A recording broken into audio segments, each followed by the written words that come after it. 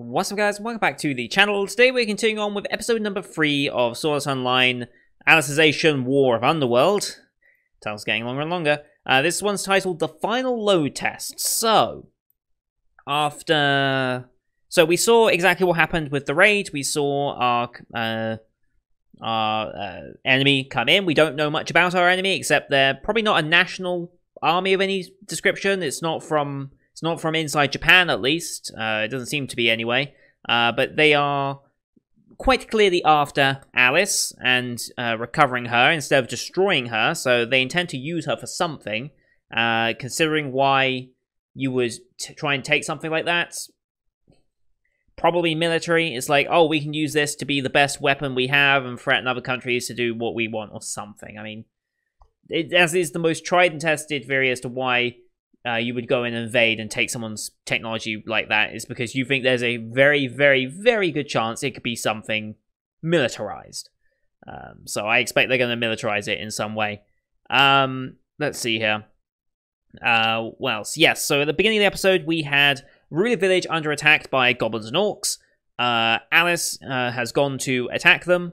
Uh, she left Kirito back at the cabin, who reacted to the fact that there was an attack before she did, uh, because I, I still feel like he's more connected with this world than uh, before, thanks to the surge that went through him. So I think he's somewhat attuned to the world, and as we later revealed, what he's he's mostly intact. It's just his self-image, the decision-making process in his mind that's like, okay, this is happening. What? How would would you react this way to this? And you base it on your self-image, but there is no image to base it on, so it's like I can't make a decision here. So we just don't make any decision. We do nothing. Um, hence why he's conscious in this world and capable of doing things, um, just only on impulse and reflex and actions, which is why he sensed danger, impulse action, I must defend, and went to his weapons as best as he could. But even then, physically, he's not up to scratch. And that makes me wonder if just the, the the jolt that went through him has physically hampered him in some way um, as well. Because if it was just his self-image missing, he'd be able to physically move a bit better than that. But obviously, it's a storytelling mechanic. But you know, I'm trying to make a bit of sense of it, justify it, because this is important when you tell a story. You want everything to be defined, so it actually makes sense. You don't want too many plot holes, you know. Um, so yeah, Alice goes to defend the village. Uh, the Dick Barbosa, the uh, village chief, I guess he is at that point. Uh, no, the local lord probably, who's got his mansion there. He's like, no, we must defend from this point, even though it's absolutely stupid and futile. Like, if you see the amount of goblins and orcs coming your way, it's like, no. Um, so Alice just like, all right, I'm pulling rank. I'm Alice Synthesis 30. And it's just like, oh, yes. I love it. Um, and she goes ham. Like, we have uh, her. Uh, what's the name of her Frank. Uh, uh, what's the name of her um mount? I forget. Um, bu- bu- bu- I don't know. I don't know. Remember what the name of uh, Alice's uh, wyvern mount? Is it a wyvern or is it an actual dragon? I don't know. Uh, in SAO. Um, Amayori. There we go. Amayori. Uh, it is a dragon. Okay, it is a straight up dragon. Okay, cool. I, I couldn't remember if they were calling them wyverns or dragons. They are full on dragons. Cool. So yeah, Amayori uh, goes and uh, just obliterates a lot of them, and then she goes down and just is like, yeah, no, and just like the the sword melts. Well, melts. It explodes into all these little pieces and just goes showering out. It's like, ah, oh, the combat in this looks so much better it looks so good, and I'm loving it. Um, but now we have uh, we have our villains then make their way on, and now we're here. What happens now? I I think Asuna's going to try and at least convince them to allow her into the uh, into the uh, Underworld. I feel like that's the way they're going to do it because they specifically mentioned that Kirito's long term memories are the only thing that's allowing him to make any form of decisions right now. Um, because he does still have his long term memories and like deep ingrained memories. And I think Asuna has to be part of that deep ingrained memory because I imagine that some of it's got to do with Sword Art Online. because you don't just forget about that so easily. We saw the mental impact that had on people during season one and season two. So um, I imagine she's going to try and convince them to let her go in. Uh, I don't know. I don't think anyone else can come in because they're not going to get to Rath because Rath is under complete lockdown. It's stranded in the middle of the ocean. The uh, the destroyer or whatever it is. I don't think Japan calls them destroyers, do they? Because isn't that part of the thing of after World War II, Japan was like, okay, we, we don't have a navy, we have a self defense force. Like they always reclassified the names of things, so it's like it's quite clearly it's quite clearly their navy, but it's not to be called their navy. It's to be called their self defense force. Um, just part of the naming uh, tradition after World War II, um, I believe. Right? I think I'm right in saying that. So, how would you get anyone else in there? I don't think you would, unless you have a very clever piece of technology that allows their normal headsets to allow them to dive in, but that's probably pushing it a bit. Anyway, uh, let's get into today's episode, shall we, and see what they come up with to um, uh, stop their attackers on Rath, because they can't physically do anything to to the people on Rath. I mean, they have a straight military advantage. Like they'll just shoot you if you get anywhere near them. So you have to use the underworld to your advantage, secure the uh, secure Alice as best you can, and then from then on, that's when uh, the self defense force will be able to act because they're assuming a hostage situation, probably because they've got some pull from our enemies. Um, so they're just not ordering anyone to go near it. Uh, so that's always a good thing. Anyway, we're now going to watch the episode. So, episode three, watching this on Crunchyroll as per usual. Link to it will be in the description. Uh, this is a timer-based format reaction, so in the bottom left of the screen, you're going to see the timer for the episode. I'll count us down, three, two, one, play, and then when I say play, timer pops up. You start your episode. We're in sync. I'll call out OP stuff, uh, just so you know where we are roughly synced. And uh, yeah, we'll be good to go, I think. So, with all that said, episode three, here we go in three, two, one, play. Nine days before the attack on the Ocean Turtle. We're in San Diego. Are we implying the Americans are involved? Of course, we're going to imply the Americans involved. This is the guy that we just revealed last episode, isn't it? Oh. Oh ho ho. Okay. They were involved in this stuff as well. The training exercises in uh, GGO. And the guy with the sky. Okay. Okay, now it makes a lot of sense.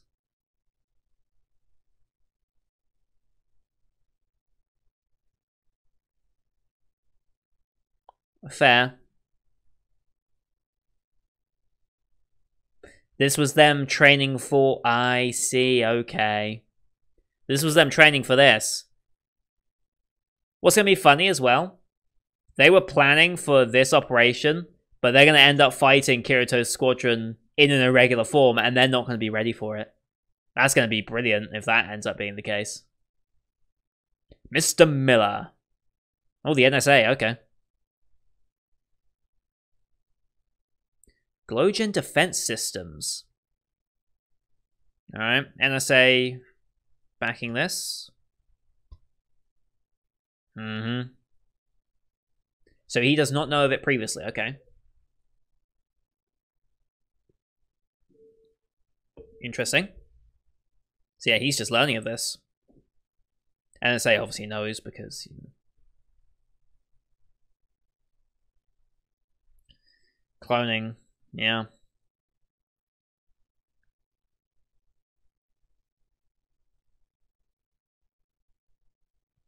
Uh-huh.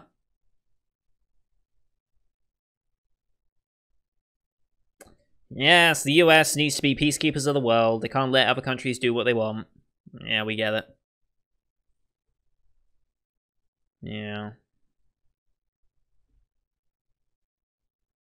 So yeah, US meddling in foreign affairs as per usual. Sounds about right. Yeah, I mean, raiding an allied ship, that's a very poorly animated ship, just saying.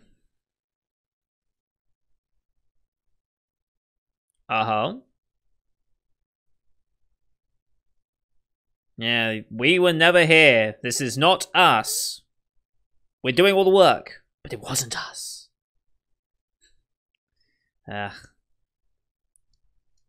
Alright.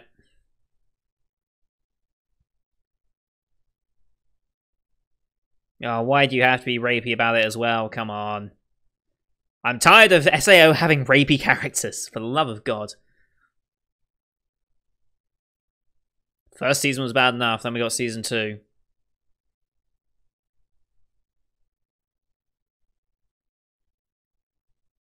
Yeah. Yeah, based on that OP segment there, I'm 100% certain Alice, uh, Alice, uh, is coming in. We've also got a bunch of characters. I want to know about her a lot. For no particular reason.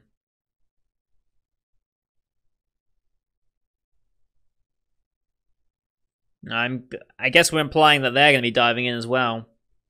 Considering the visual similarities between Mr. Miller and whoever that main antagonist swallowing the chess piece was. I assume everyone's going to be diving in to take control, right? Also, I think I should make a bit more of a deal of the fact that her eye is now back to normal. Because that was the whole point. For breaking out of the Axiom Church, that eye was lost, essentially. But it's basically returned to normal now. Because it's now the same colour. And Yu-Gi-Oh! Sword.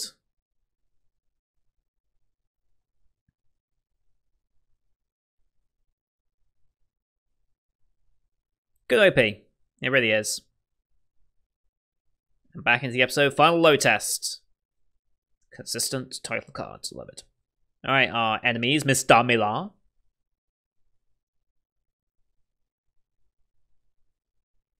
Huh?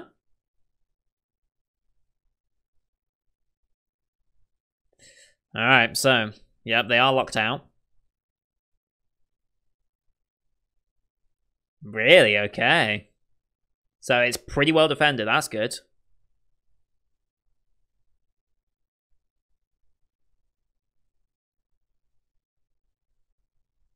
Mm-hmm.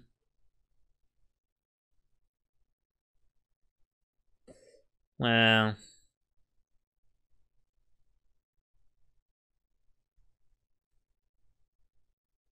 yeah, figure out a way to actually do it.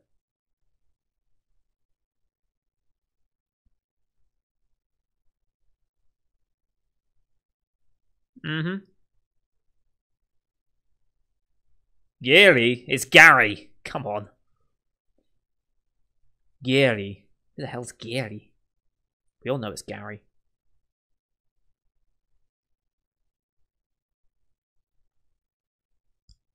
Mm-hmm. They just want to straight breach the wall. Okay.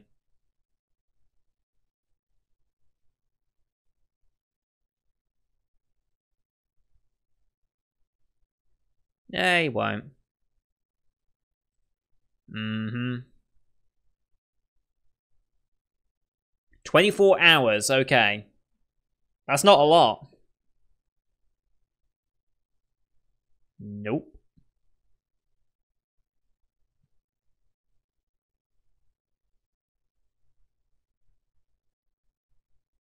Mm-hmm.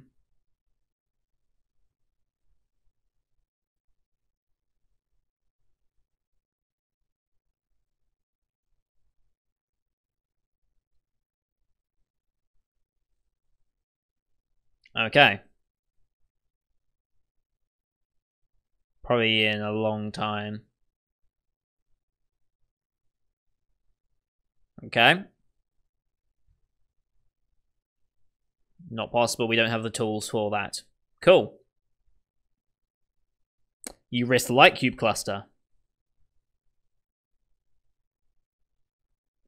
Mm hmm We risk damaging it. Yep.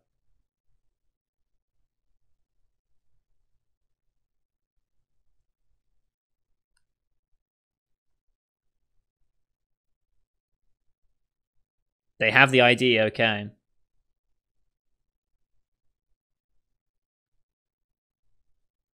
But he can't do this. Ah, honestly, I feel like this is more well protected than the Pentagon. Ho ho ho.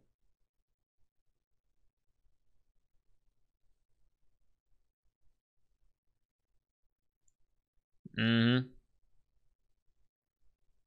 Quit your moaning, just get on with it.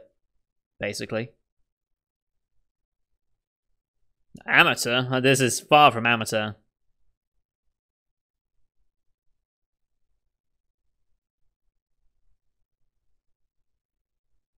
Mm-hmm. Yes, sir! Every time.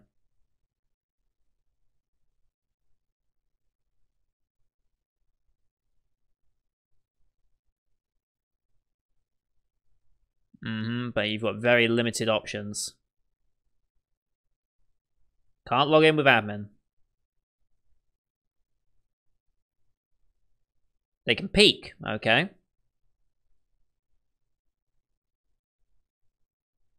Yep.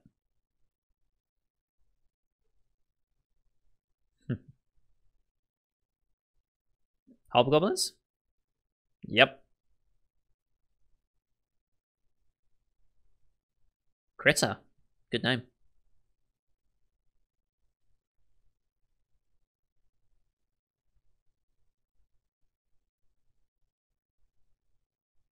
Mm-hmm. Interesting. Probably not the same. Not all of them.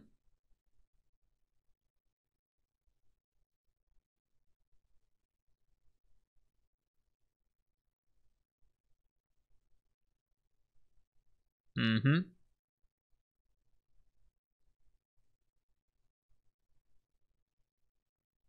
Well,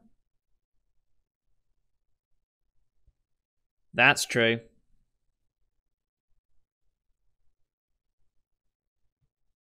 And there's the idea to dive in.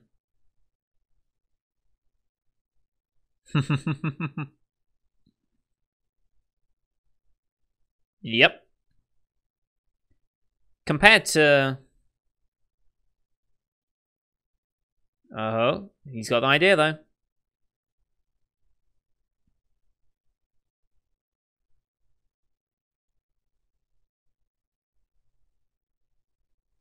Ah, they're looking for a higher level account that they can use from a position of power.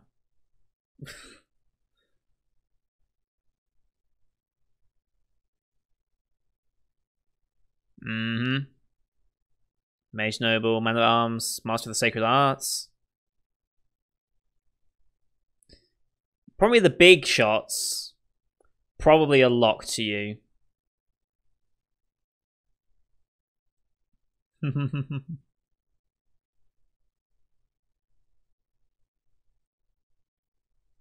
Naturally. Okay, so they're locked out of anything.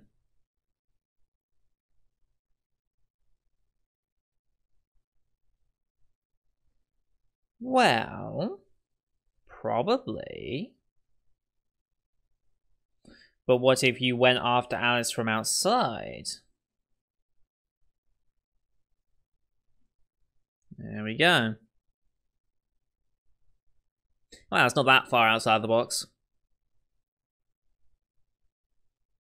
As a general, okay. Play the evil guys.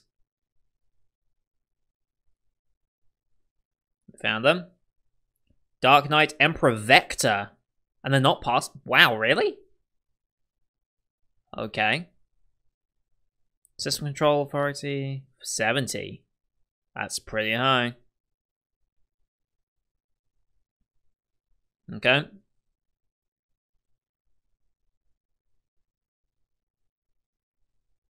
Hmm. Interesting.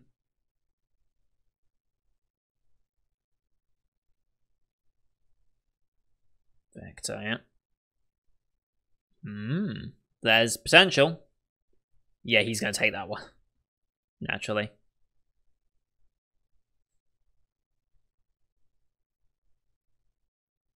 Mm-hmm. Why wouldn't they lock those ones out? Do they just not think of them? Hmm. How do you dive in?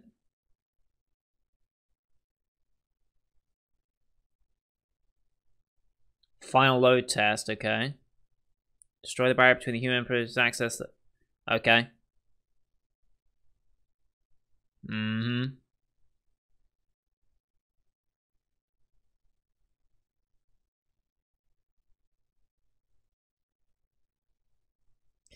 Yeah.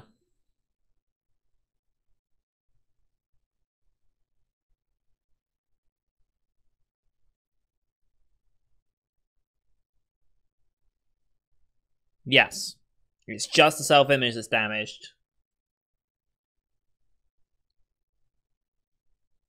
Mm-hmm. Oh. Interesting. And Asuna's gonna... Obviously.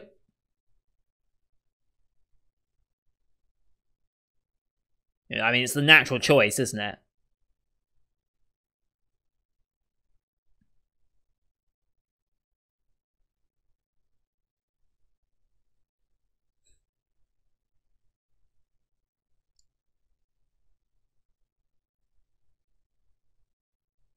I mean, who better to do it than her? But, well, yeah, but, mm, all out war essentially.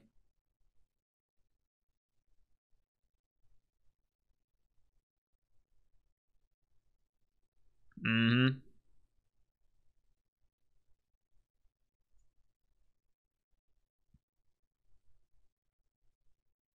So it was planned for them to win. Yeah. So the defense is completely out of whack and unpredictable. Mm-hmm.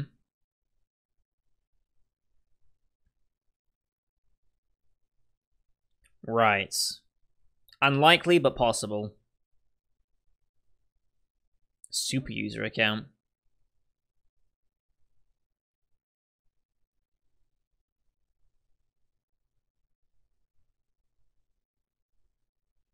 Mm-hmm. Yeah, but he's... He still can.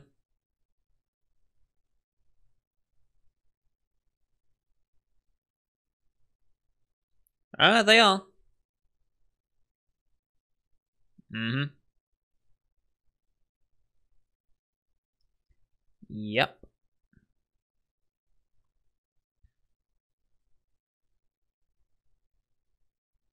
Experienced. What is the highest one that she's got? Really? Alright.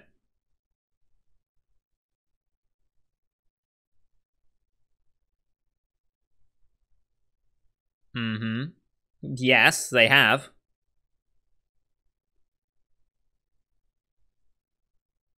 But they're all locked. But did you think about? Yeah, you just thought about it. Hmm. Sure, it's nothing. No, they're doing it. That inkling you have, they're doing it. Oh boy. Oh, sending message to the group. Mm-hmm. Oh boy. Hello again. I forget your name, but you've been here pretty much since day one of uh, Kirito being in uh, hospitals. Oh, uh, Sinon? Back in GGO. Naturally.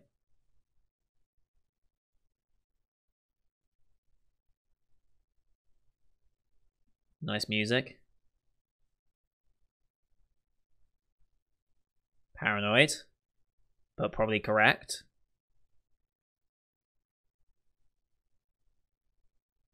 Behind you, yep. Oh, damn. Isn't this Mr. Miller? This is Mr. Miller. Fairly certain.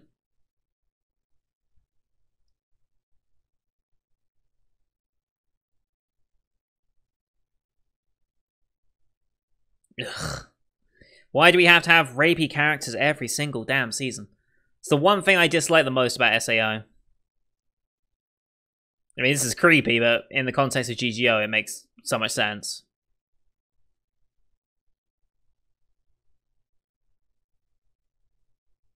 Mm-hmm.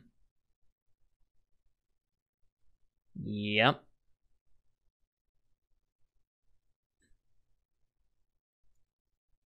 Okay. We're all gonna meet up. So wait.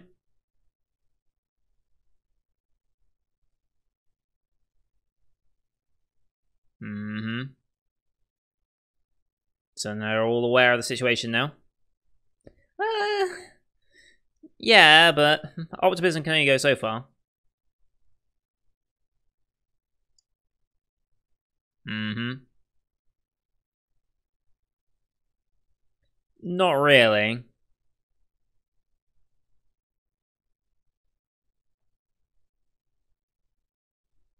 Okay. How, though? That's what I wonder. Oh, we're three hours after, okay. Now I'm gonna dive in with the, uh... Dark Territory accounts.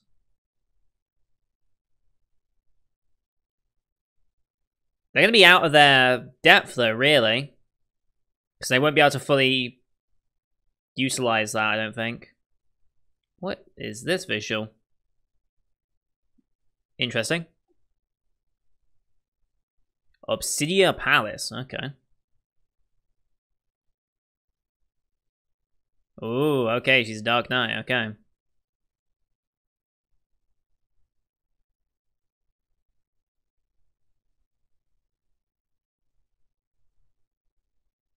Hmm.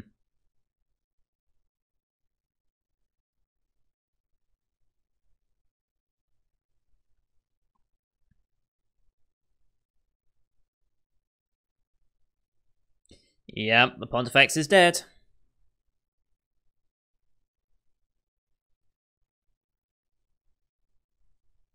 Mm-hmm. It true.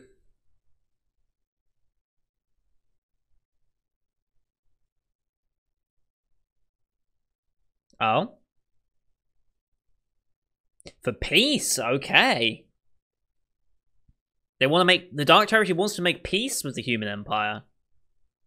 Interesting. I wonder what the I wonder what the reasoning behind all that is. And this is just this lord's opinion. Oh, Edie's gonna be playing over this. Probably. There definitely is a chance with them. Okay, know of Bo and maybe have a history? Okay. Council of Ten. Oh. Hmm. The Goblin Chiefs, Orc Chief. Oh, hello.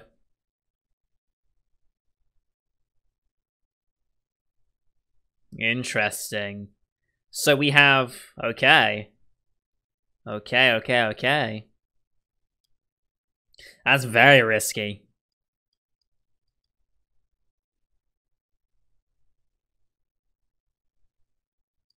Mm-hmm. But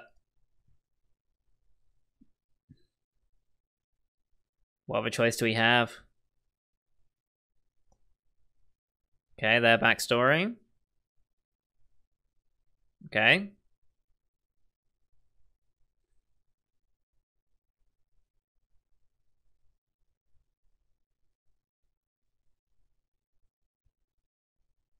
You what? Oh ho ho! Oh! Okay.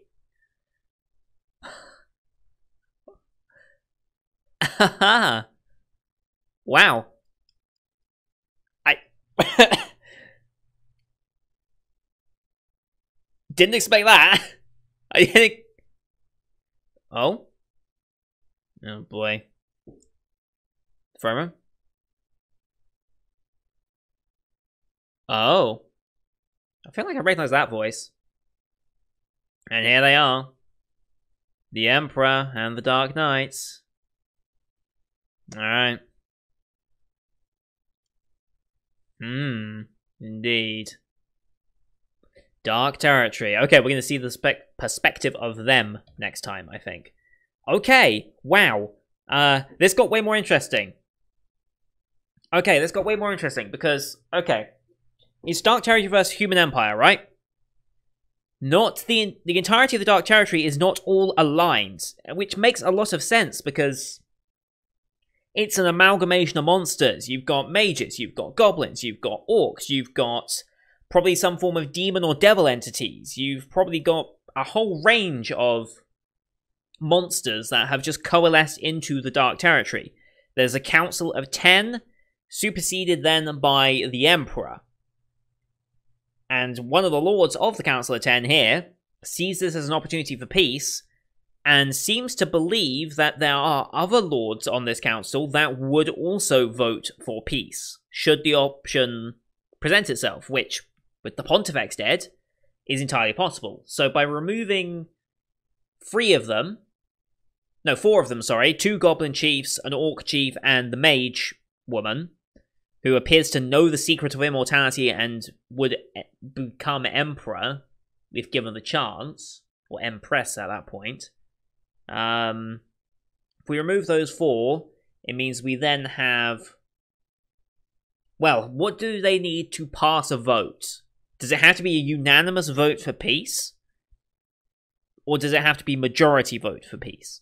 Because if it's unanimous, then they need uh, the other five to vote yes as well. If it's just a majority, they'd need another three of them to vote for peace because there'd only be six left, so they'd need themselves and three others for majority. I'm not sure how the Council of Ten works here. I just know there's ten of them, and we want to eliminate four of them to bring it down to six for reasons of peace. Interesting. And we even have a romantic attachment here already, uh, which that was out of left field. Like, I didn't expect that. Like, that's not at all what I expected to happen, but uh, it seems genuine, which is nice. I mean, I'm all for a genuine relationship in SAO, instead of all the rapey vibes we've had this entire damn show. Um, but yeah, this is interesting. Very, very interesting. Okay. So not only do we have the Human Empire preparing for a defense against the Dark Territory, which is a planned attack from the Dark Territory, we also have the internal struggle of this lord who... Did we get his name? I've forgotten his name. Uh, what is his name, real quick? Uh, let's see. Where is it? I don't think I see it anymore. That's a shame.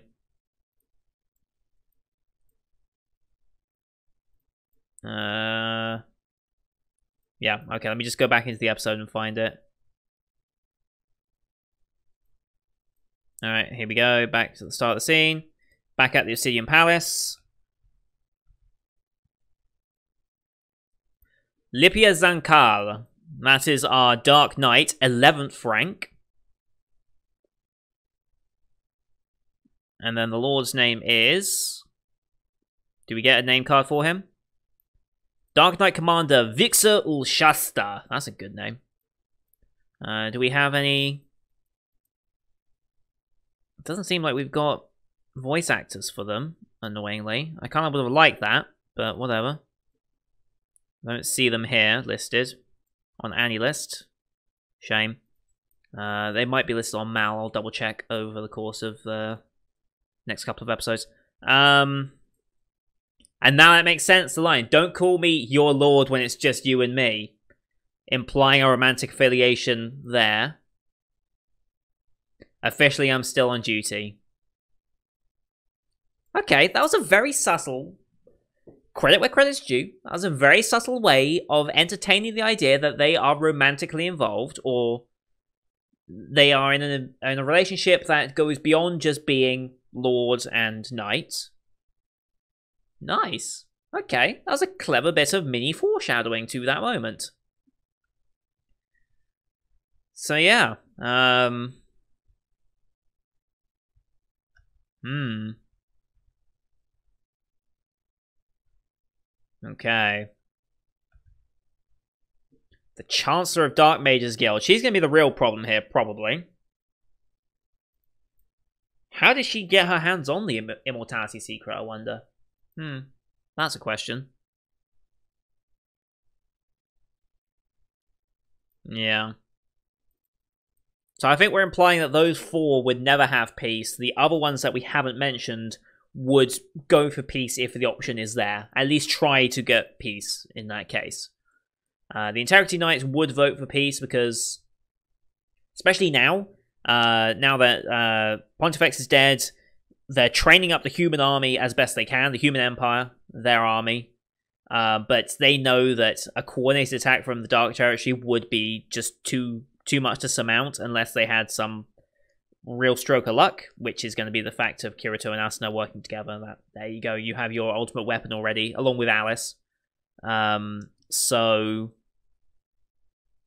yeah, I like this. I like that there is an internal struggle within the Dark Territory as well. It's not just a uniform Dark Territory, evil people. Ah. But it makes me wonder why they would want peace. Like, what is their desire here? Also, why are they in the Dark Territory? They appear to be humans. Why are they in the Dark Territory? The goblins and orcs make sense. Uh, the uh, uh, Chancellor Mages, Dark Mages. I mean, if you're called a Dark Mage, uh, it ultimately implies you're going to be an evil character, unfortunately. Um, but it makes me wonder about the other groups. Like, what other groups are under it because if it's only goblins, orcs, and dark mages, that would be a problem. Unless they're the easiest problem to get rid of, I don't know. Um, who else is in the dark territory that would vote willingly for peace? Because if it is other monsters like demons and devils, they wouldn't want peace. No way. Hmm. But I'm sure that plan for just using the 10 the the ten to vote for peace, I'm sure that's now all gone out the window now that uh, Evil Emperor and Dark Knight are now here.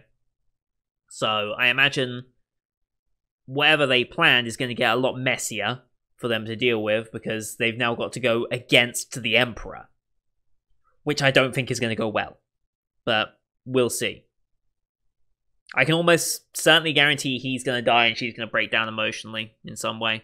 I see that happening already. I, I already see the potential of that threat. Like, you went out of your way to have this romantic moment of connection between these characters.